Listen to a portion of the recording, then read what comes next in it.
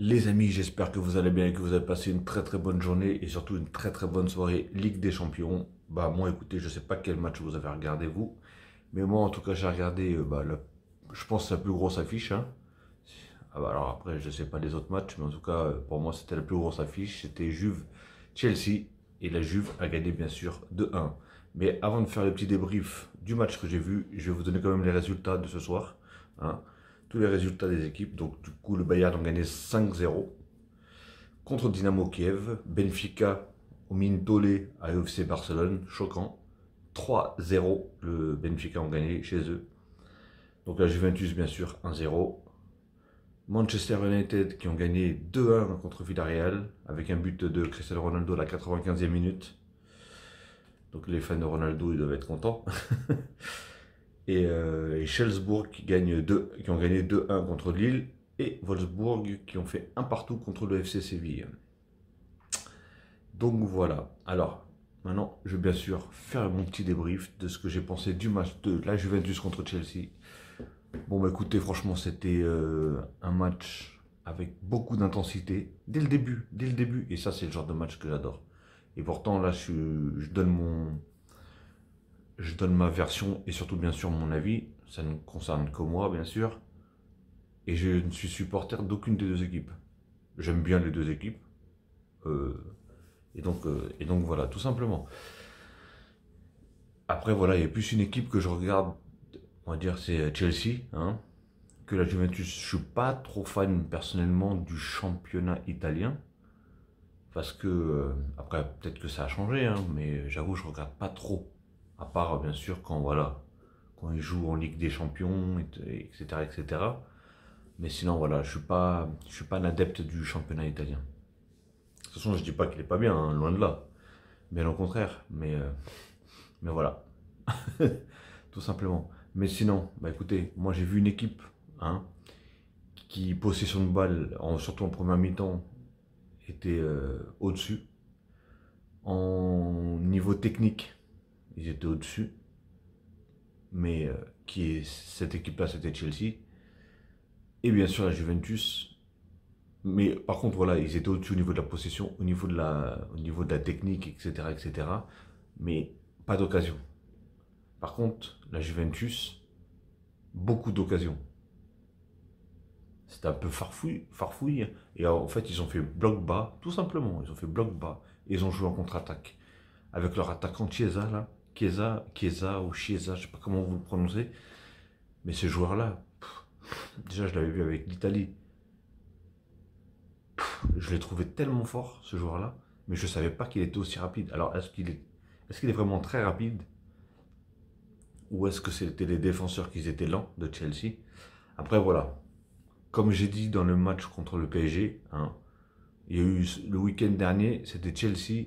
Euh, City Chelsea ou Chelsea City, je sais plus. D'ailleurs, j'en ai même fait un débrief. Et, euh, voilà, les deux, euh, les deux équipes des, des, des, plumes, beaucoup, beaucoup, beaucoup d'énergie, parce que on a vu une équipe de City qui avait fait un pressing de fou furieux, et bien sûr, euh, donc Chelsea ont beaucoup couru après la balle et ont beaucoup subi, donc on laissait beaucoup d'énergie, et je pense que ça s'est vu aujourd'hui parce que beaucoup de joueurs, certains joueurs même, qui, qui j'ai trouvé en dessous de, de, leur vrai niveau, hein, comme Aspilicueta, qui est un joueur que j'adore. Mais euh, je l'ai senti vite essoufflé, vite euh, dominé, vite... Euh, je sais pas, c'était compliqué. après, il y, avait qui d'autre? Après, le pauvre Lukaku. Alors, par contre, Tourelle, je sais pas ce qui, je sais pas comment il fait ses compositions là, mais après, je suis pas coach, hein, j'ai pas la science infuse non plus. Mais je sais pas, offensivement, par exemple, je voyais que Lukaku, tout simplement. Et la Juve, ils l'ont tout de suite compris. Ils vont jouer sur Lukaku. Il n'y a que lui. En fait, il n'y avait pas d'apport offensif, je trouve. Par exemple, on avait un Z. Encore, ils avaient un petit peu euh, Averts. Comment il s'appelle? Averts ou un truc comme ça? Attendez. Euh, je crois que c'est ça. C'est. Oui, c'est ça, Averts. Averts. Voilà, Averts. Qui donnait, euh, mais, par exemple, un joueur comme Ziyech, parce que là, c'est bien ce qu'il a fait, par exemple, pour elle, de ne pas avoir mis Werner. Parce que Werner, c'est un joueur, il faut quand même de l'espace pour jouer. Et là, vous avez pu constater qu'il n'y en avait aucun, aucun espace. Il fallait des joueurs vraiment techniques. Et, et c'est bien qu'il ait mis des joueurs comme Ziyech. Mais je trouve que par exemple, Ziyech, il n'a il a rien apporté. Personnellement, il n'a il a pas apporté grand-chose. Il a voulu faire des centres, il, voilà, c'était pas top, top, top. Et euh, techniquement, et je sais pas, je l'ai senti nerveux, je l'ai senti trop énervé. À un moment, il voulait se battre contre l'autre, je sais sais pas ce qu'il faisait. Même Alonso, je l'ai senti euh, sous pression, sous, je sais pas, trop énervé. J'ai pas compris. Alors après, euh, voilà, on sait qu'entre footballeurs, souvent ça se titille, entre adversaires, etc. Mais bon, je sais pas. Je sais pas c'était quoi leur délire. Mais euh, j'ai trouvé Lukaku trop seul. Trop seul. Offensivement, trop seul. C'est. Il n'y avait pas d'apport offensif. C'est triste, hein, mais. Pourtant, il y a un bon milieu. Hein. Il y avait Alonso, Jorginho, Kovacic, Aspilicueta, du coup, sur les ailes. Mais euh, et il y avait Ziyech à et Lukaku tout seul en pointe. Mais non, tu peux pas faire ça. Tu peux pas, je sais pas. Il faut. Surtout, tu sais que voilà, la Juve, comment ils ont fait? 4-4-2, tu sais que les mecs, ils vont, ils vont murailler derrière et jouer en contre-attaque. Avec une, avec une, composition comme ça, tu sais comment ça va se passer.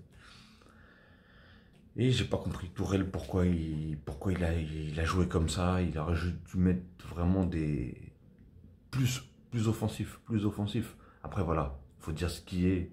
La Juve aujourd'hui, ils ont, sorti quand même. Euh, parce qu'en première mi-temps, je trouvais par exemple Rabiot. Rabiot, je l'ai trouvé très bon. Il a fait un très bon match. Mais par exemple, en première mi-temps, il avait des bonnes actions, il faisait des bons trucs. Et sur le dernier geste, il ratait tout. Les passes, etc. etc. Bon, à part un moment, il met une transversale qui est complètement magnifique sur Quadrado, je crois. Et Quadrado, il remet au centre. Et, euh, et, comment il s'appelle l'autre?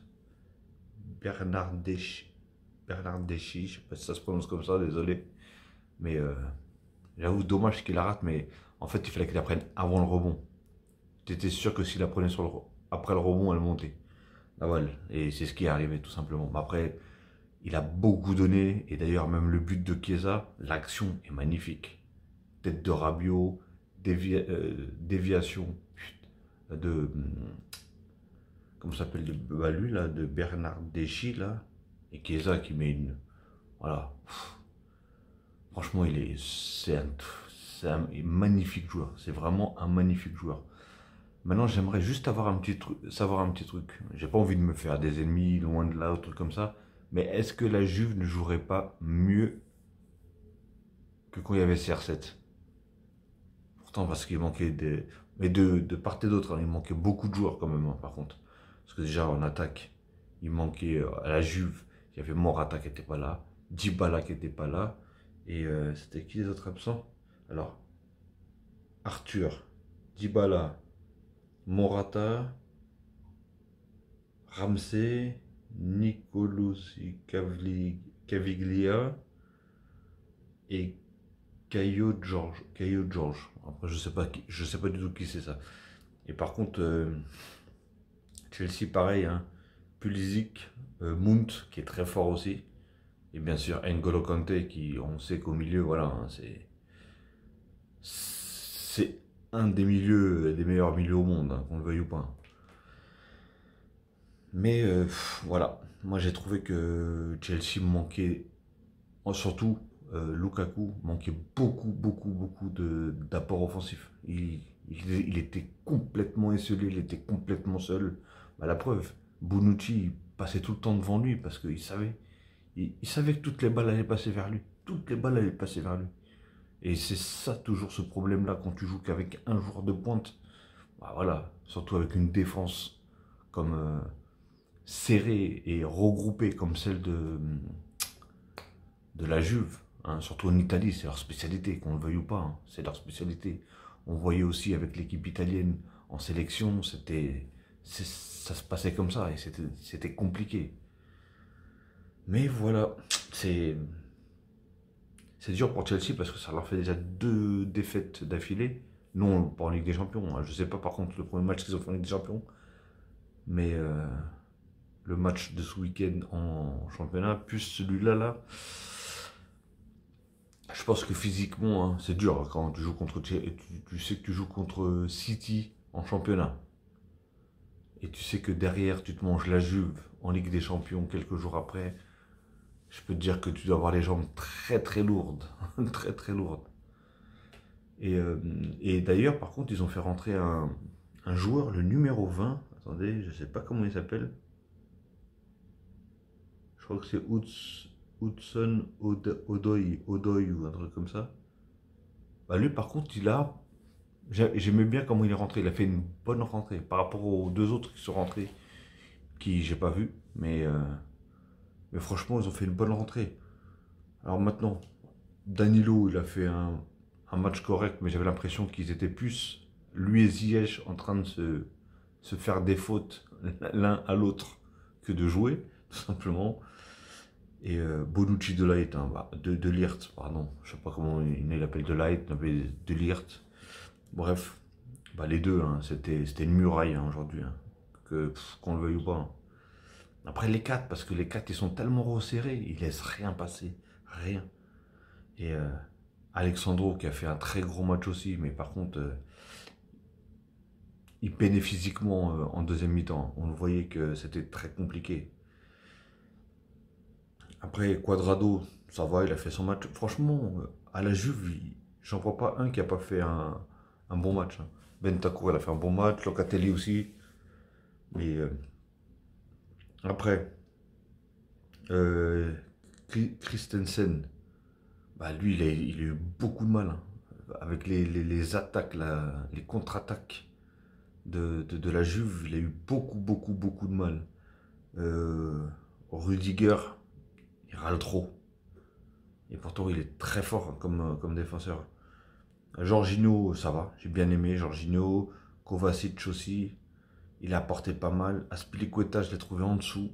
Alonso, trop nerveux. Ziyech, pour moi, c'est un joueur que je trouve vraiment avec beaucoup de talent, techniquement très fort. Mais là, je trouve qu'il a rien apporté. Il n'a pas tenté de dribble. Il n'a pas tenté de, il a pas tenté de bonnes choses en fait. Il a, je sais pas. À un moment, il était porté disparu, je le voyais même plus. Euh, Avertz, il a apporté quand même. Hein, et euh, bah, il a essayé d'apporter. Et après, Lukaku, pour moi, il, voilà, il était complètement seul. Il pouvait rien faire. Hein. Tu pouvais mettre qui tu voulais là, il, il faisait rien. Il était tellement ceinturé. Même lui, il était en train de péter un plomb. Il, devait se dire, est-ce qu'ils vont me faire rentrer un peu d'attaquant ou quelque chose Parce que, franchement, euh, et je m'attendais voilà, à un changement de, de, Tourelle. Vous voyez que, surtout quand tu vois que tu perds 1-0 tout de suite, à la 46e minute, je crois qu'il a marqué. Donc là, tu modifies tout de suite. Hein, et surtout tu sais que la Juve, la Juve, ils s'en foutent de gagner des 4-5-0. Bon, s'ils peuvent le mettre, ils le mettent, bien sûr. Mais voilà, tu as vu que à 1-0, ils s'en foutaient après. Hein, ils contre... Allez, ils ont peut-être dû faire une ou deux contre-attaques, et puis c'est tout. Ils, sont mis, ils ont mis une muraille derrière, et voilà. Donc euh, c'est pour ça que Chelsea aurait dû peut-être marquer en premier. Et là, du coup, ça aurait fait, ça aurait fait peut-être sortir un peu plus euh, la Juve. Et à partir du moment où la Juve va marquer en premier, tu sais que derrière, ça va, ça va cadenasser, tout simplement. Et c'est pour ça que Lukaku, il, s'est de plus en plus euh, enfermé dans cette défense. Et là, c'était, c'était cuit. Il pouvait essayer de faire tout ce qu'il voulait.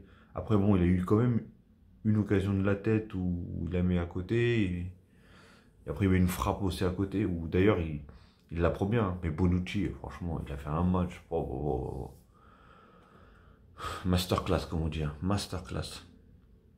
Mais voilà, je pense que Chelsea, je dis, dis pas qu'ils n'ont pas le niveau, hein, loin de là. Ils ont une très bonne équipe. Mais entre les absences, les blessés et le match de ce week-end, ça fait beaucoup. Ça fait beaucoup et je pense que ça, ça a beaucoup joué. Après, je sais pas contre qui la Juve ils ont joué ce week-end, par contre. Mais voilà, ça leur fait du bien aussi à la Juve. Qui, euh, Et par contre, tout à l'heure, quand j'ai demandé est-ce que, est que la Juve joue mieux avec ou sans CR7, hein, je demande juste, hein, c'était une simple question, parce que comme je vous ai dit, je regarde pas les matchs de, de la Juve, donc je peux pas. Le peu que j'ai vu avec CR7, je trouvais que ça tournait pas du tout. Ah, je, je trouvais vraiment que ça tournait pas du tout ça tournait pas beaucoup. Et mais j'ai pas regardé en Ligue des Champions, j'avais regardé en, si je me trompe pas, j'avais regardé en championnat. Donc dites-moi, vous, je je sais pas s'il y a des fans de... Pas des fans de CR7, hein, des fans de la Juve. des fans de la Juve bah, pour savoir est-ce que oui ou non, parce qu'il y en a beaucoup qui disent, même en Italie, hein, j'en entends, enfin je lis beaucoup, j'entends beaucoup dans certains trucs, dans certaines émissions, que quand même en Italie, ça disait que bah, CR7, ça gâchait le jeu de la Juve, etc. etc. Donc dites-moi vous, en tout cas les supporters de la Juve, ce que vous, vous en pensez. Dites-moi dans les commentaires, hein, n'hésitez pas. Et, euh, et, bien sûr, les, fans de Chelsea, hein, dites-moi ce que vous, vous avez pensé du match. Et bien sûr, de, de Chelsea ce soir. Franchement, c'est dommage. C'est dommage pour eux. Après, comme j'ai dit, hein, je suis ni pour l'un ni pour l'autre. Mais voilà, la Juve, ils, ont vraiment, montré un autre visage que, que Chelsea. Chelsea, je les sentais encore euh, désemparés. Désemparés, je sais pas. Je sais pas quoi vous dire, les amis. Ok? Donc en tout cas, j'espère que vous avez apprécié le, match, hein, parce que moi, en tout cas, j'ai bien aimé, surtout l'intensité, ceci, cela. Je me suis dit à tout moment, ils peuvent égaliser. C'est pas une domination, euh, voilà. Mais en fait, à tout moment, ils peuvent égaliser, comme à tout moment, ils peuvent s'en prendre un deuxième. C'était ça qui était fou. Donc euh, j'imagine que les supporters, ils devaient fumer des oreilles, ou de la tête, ou je sais pas d'où. Donc euh, je sais ce que c'est, vous inquiétez pas. Donc voilà les amis, en tout cas, si vous avez bien aimé cette petite vidéo et ce petit débrief, hein, n'hésitez pas à liker, ça fait toujours plaisir, c'est gratuit et ça mange pas de pain, comme tout ce que je vais vous dire. Hein. Commentez en masse. Euh, il y en a qui disent que c'est bon pour le référencement, je ne sais pas ce que ça veut dire personnellement, mais je le répète comme eux. Donc euh, commentez en masse. Hein. Bon, moi je, veux que vous commentiez pour qu'on fasse des échanges, que ce soit les fans de la Juve ou les fans de, les fans de Chelsea, bien sûr, hein, et j'hésiterai vraiment pas à répondre, si bien sûr il n'y a pas d'insulte, sinon je zappe direct. Et bien sûr, si c'est pas encore fait, n'hésitez pas à vous abonner. Et bien sûr, une fois que vous êtes abonné, n'oubliez pas de cliquer sur la cloche pour avoir toutes les notifications. Une fois que je mettrai une vidéo en ligne, ok les amis?